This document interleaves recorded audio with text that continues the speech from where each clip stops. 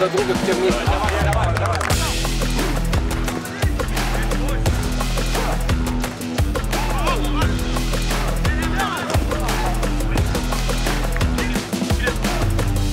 Установить равновесие. И самим уверенностью зарядиться удар по воротам был неплохо.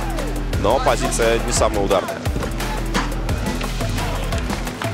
Un match équilibré. Прежде всего могу сказать, что матч был очень равный. Играли две высококлассные команды. Игра прошла с большим количеством голевых моментов и одной, и второй команды. И одна, и вторая команда могла выиграть. Игра прошла на очень высоком техническом уровне. И поэтому это был хороший матч.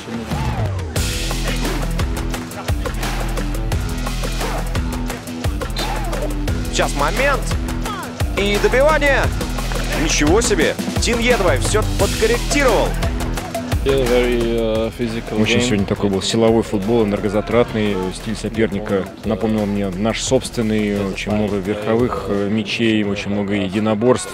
Достаточно неплохая сегодня для нас была проверка нашего текущего состояния на этих сборах.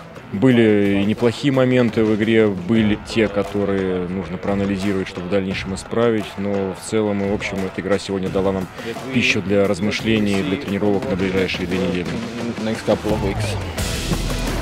Слушай, жаркое противостояние. Вот сейчас Сидор может воспользоваться моментом. Неудачный отскок для Мальмы, зато удачный для Исидора. Он выходит на ворота и в штангу попадает Исидор.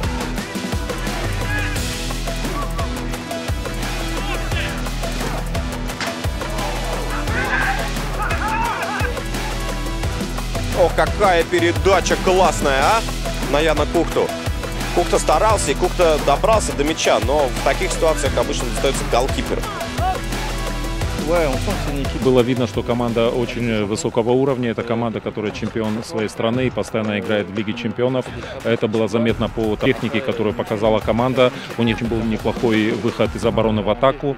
Вот сейчас один Алич штрафной простреливает. Удар будет, будет под перекладину. The Vikings.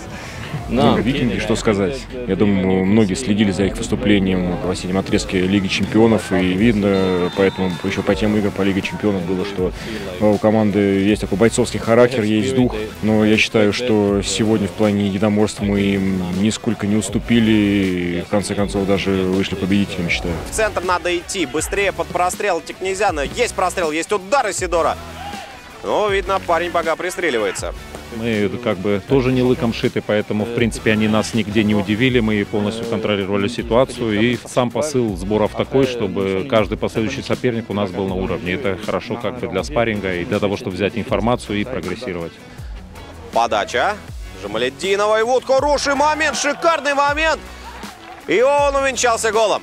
Снова Ян Кухта. Ну что он творит, а? Он забивает стабильно в каждом товарищеском матче. Вот посмотрите, он с острейшего угла пробил. Подстроился под этот мяч. Жамаледдинов направлял на него именно.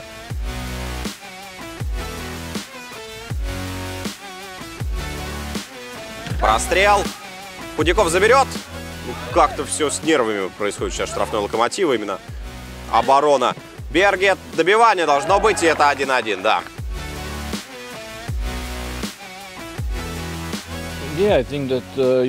Я считаю, да, что по сравнению с тем, что было 10 дней назад, мы действительно прибавили во многих компонентах. Начало атаки, завершение, прессинг, скоростная работа.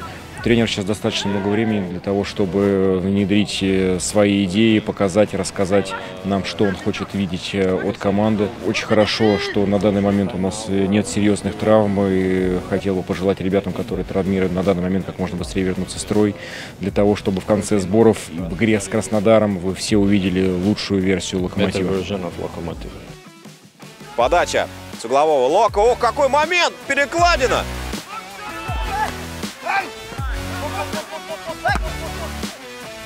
И вот сейчас регбийная борьба за мяч. Зато можно подхватить слева. Исидор, ну-ка, время для финтов шикарных. Удар в ближний угол. Попадает с внешней стороны в ворот Исидор.